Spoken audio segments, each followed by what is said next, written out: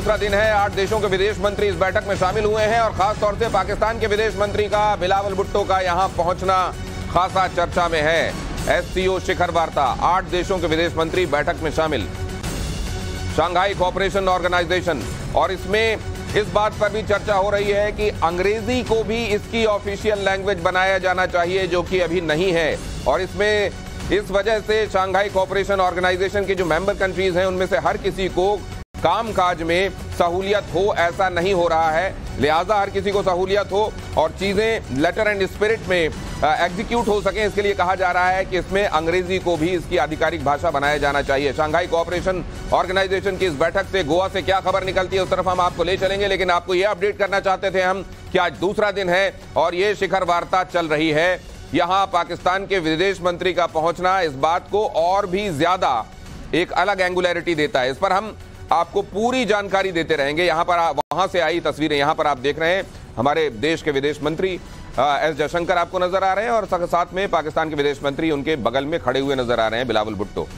ये गोवा में Shanghai cooperation organisation से आई हुई तस्वीरें जो हम आपके सामने रख रहे हैं। शिखर वार्ता का आज दूसरा दिन।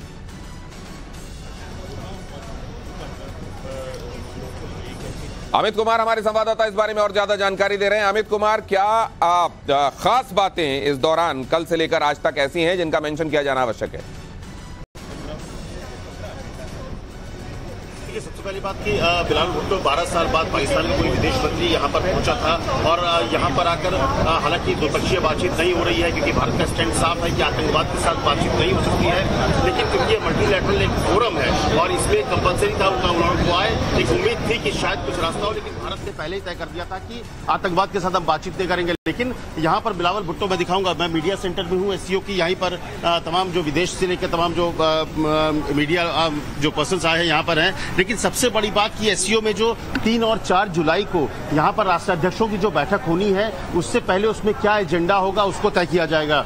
उसके अलावा जो बात आपने कही कि इंग्लिश को एक भाषा के तौर पर, एक ऑफिशियल भाषा के तौर पर इस्तेमाल किया जाए, आतंक आतंकवाद और सुरक्षा, ये महत्वपूर्ण मसला है जिस पर चर्चा होगी और तमाम बातें होंगी। अभी आप एक हैंडशेक करते हुए देखा, इससे पहले कल रात को डिनर में भी बिलावल भुट्टो और भारत के जो विदेश मंत्री के बीच हैंडशेक हुई, वो औपचारिकता है, लेकिन भारत का स्टैंड साफ़ है और भारत इस बात को लेकर पूरी तरह से आप कह सकते हैं कि बिलावल भुट्टो और पाकिस्तान को और पाकिस्तान की पूरी जो सरकार को ये मैसेज क्लियर है और लाउड है कि बॉस, जब तक आप आतंकवाद के साथ रहेंगे, तब तक आप हमारे साथ नहीं हो सकते हैं। तो यहाँ पर एससीओ को उस लिहाज से देखिए, प्रधानमंत्री मोदी ने भी एक बात कही थी कि एससीओ की अध्यक्षता लेते समय कि आपसी सहयोग के साथ आपसी विश्वास बढ़ानी है। वो आपसी विश्वास कहाँ पर कमी है?